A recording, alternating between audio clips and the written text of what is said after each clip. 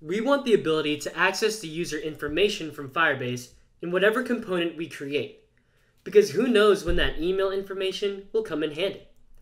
To add this functionality, we can take advantage of the Redux library and add a user reducer. Recall that with adding Redux logic to an application, we think about it in three steps. Let's add a constant, an action creator, and add the reducer. So first, let's add a constants file right next to index.js and firebase.js. So constants.js. We'll export one constant for now called signed in.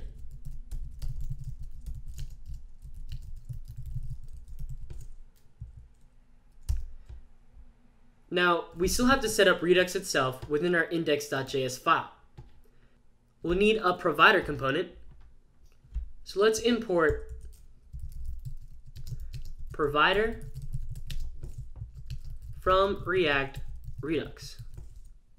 Also, we'll need to import that create store function from Redux itself. Let's make sure I spelled it correctly as well. Let's go ahead and wrap everything with that provider component.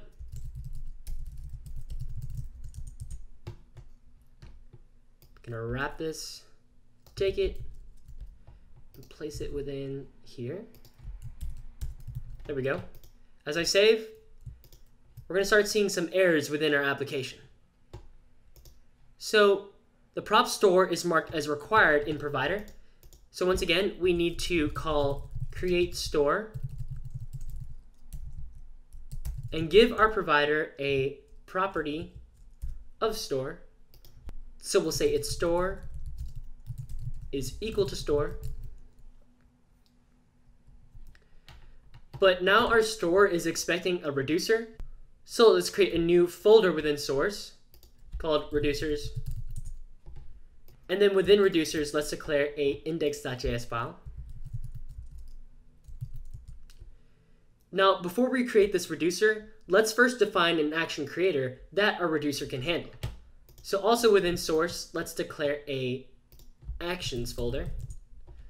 And these actions will have a index.js file. And then we'll need to import that signed in constant from our constants. So make sure you go up one directory with a dot dot slash. And our first action will be a function called log user. It'll have one email in the parameter for now. And this action creator creates an action. We'll have a plain JavaScript object whose type will be signed in. And remember, each action within Redux needs that type property. And for now, we'll simply return an email key with the email that we pass in our log user. So that should be enough for our actions. Now we can actually head to reducers and define that reducer to handle this action creator. So we'll also need to import signed in from constants. Constants. And let's declare a user variable with let, because we're going to modify it later, with a null email for now. And then we'll export by default an anonymous arrow function with two parameters. The first one being our state, which will be the user right here. It'll be automatically initialized. And then our action. And remember the pattern with reducers, we switch on that action.type. We'll handle the first case of signed in. Let's go ahead and grab the email from our action. Then we'll say our user is now equal to the new email that we find within here, and we'll use ES6 shorthand syntax. And then we'll go ahead and return this new user. And remember, with switch statements, we always want a default case, and our default case will be to return the state, which is initialized to this user right here. Great. Now that we have a defined reducer, we can import it with an index. So let's import our reducer from our reducers component. And then argue reducer within create store, which should get rid of that error. Cool. Now there's another thing. When we push our application when the user is valid to the app page with browser history, we also want to log the user with the action creator we just defined. So let's import log user from our actions.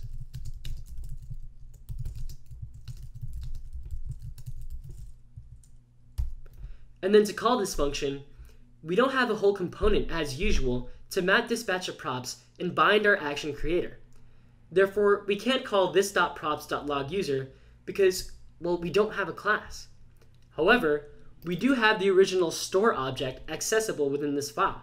So we can actually even do one better than call this props and instead use store dot dispatch log user and send our action from the very bottom of our application. So remember we need to pass our email variable. Then we can find this email variable within our user object that Firebase gives us. Let's save.